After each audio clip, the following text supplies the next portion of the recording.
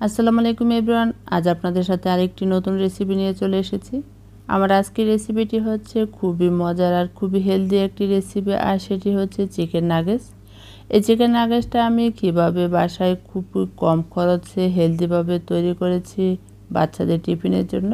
সেই রেসিপিটি আজকে আপনাদের সাথে শেয়ার করব। আশা করছি আমার আজকের পুরো ভিডিওটি আপনাদের কাছে ভালো লাগবে।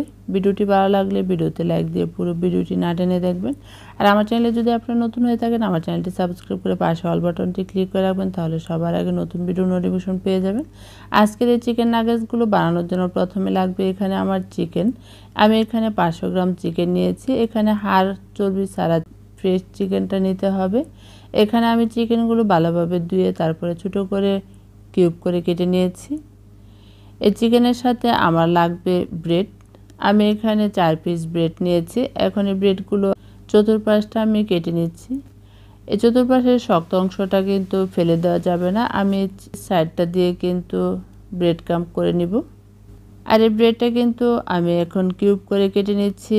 যেহেতু আমি ব্লেন্ডার দিয়ে ব্লেন্ড করব।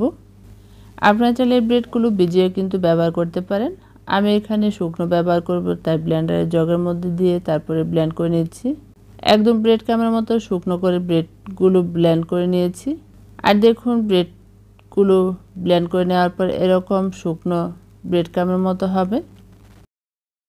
তারপরে এর মধ্যে আমি দিয়ে দিচ্ছি চিকেনগুলো এই চিকেনগুলো কিন্তু সবটাই ব্যবহার করছি। তার সাথে দিয়ে দিচ্ছি রসুন বাটা, দেড় চা চামচ। আদা বাটা দিয়ে দিচ্ছি দেড় চা চামচ। যেহেতু আমি এক চা চামচ করে একটু উঁচা করে দিয়েছি, তারপরে দিয়ে দিচ্ছি এক চা চামচ কালো গোলমরিচ গুঁড়া, এক চা চামচ লাল মরিচ গুঁড়া।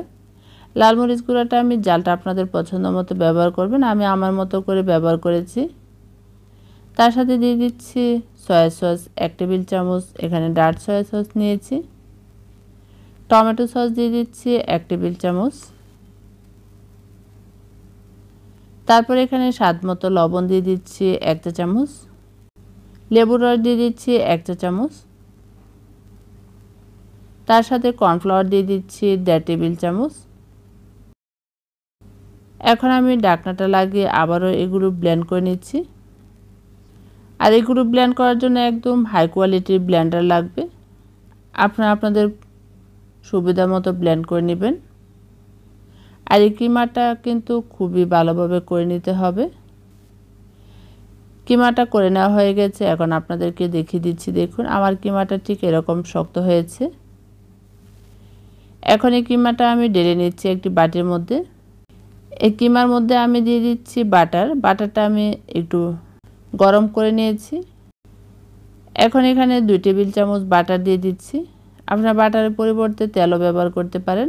যেহেতু এই চিকেনটা একদম চর্বি ছাড়া, তাই এখানে বাটার বা তেল ব্যবহার করতে হবে। এখন এই বাটারটা ভালোভাবে মিশিয়ে নিচ্ছি। কিছুটা মিশিয়ে নেওয়া হয়ে গেছে, এখনই কিমাটা আমি ডেলে নিচ্ছি। এই কিমাটা এখন হাত দিয়ে ভালোভাবে মাখিয়ে নিচ্ছি। যেহেতু এখানে হাত ব্যবহার করেছি, তাই হাতটা খুব ভালোভাবে ক্লিন করে নিয়েছি। এখন হাত দিয়ে ভালোভাবে বাটারটা মাখিয়ে তারপরে এই কিমাটা আমি রুটির মতো করে পাতলা করে সরিয়ে নিচ্ছি। আমি কিন্তু আমার মতো করে পাতলা করে নিচ্ছি।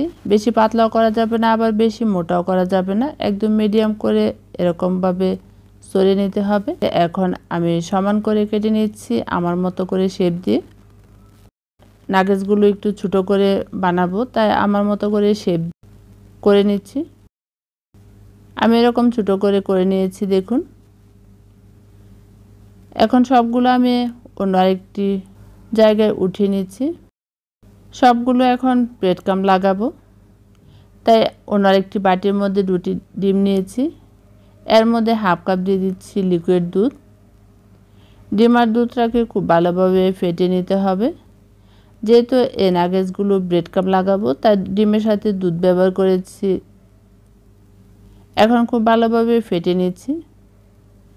ফেটে নেওয়া হয়ে গেছে। এখন এই ব্রেড কামটা লাগানোর জন্য এখানে কিছু ব্রেড কাম নিয়েছি। আর এই ব্রেড কামটা কিন্তু আমি পারোটি ব্ল্যান্ড করে ব্রেড কামটা করে নিয়েছি। আমি কিন্তু ঘরের তৈরি ব্রেড কামটাই ব্যবহার করি।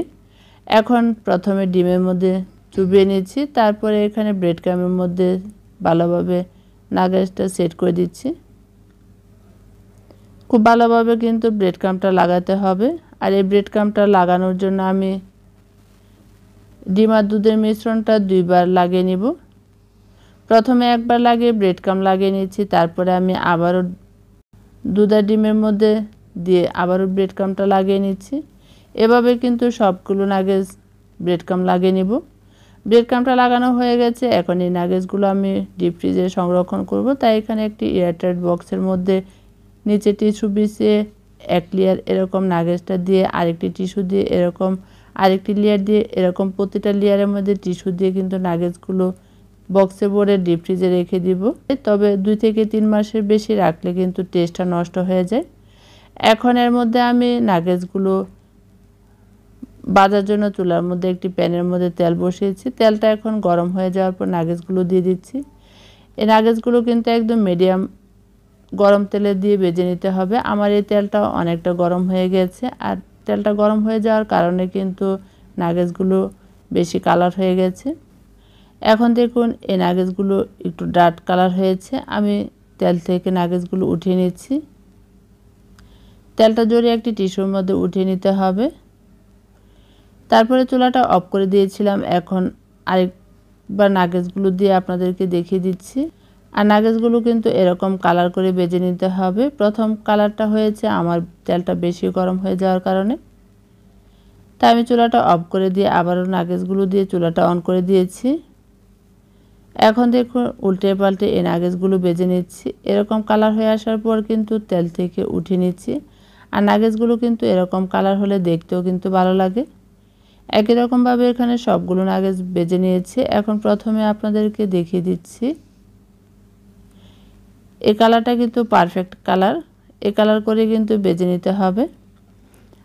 এর আগে যেটা বেজে নিয়েছিলাম, সেটা কিন্তু একটু ডার্ক কালার হয়ে গেছে। আপনি নিশ্চয়ই দেখিয়ে বুঝতে পারছেন। আর দেখলেন তো কত সহজে নাগেজগুলো বানিয়ে নিয়েছি।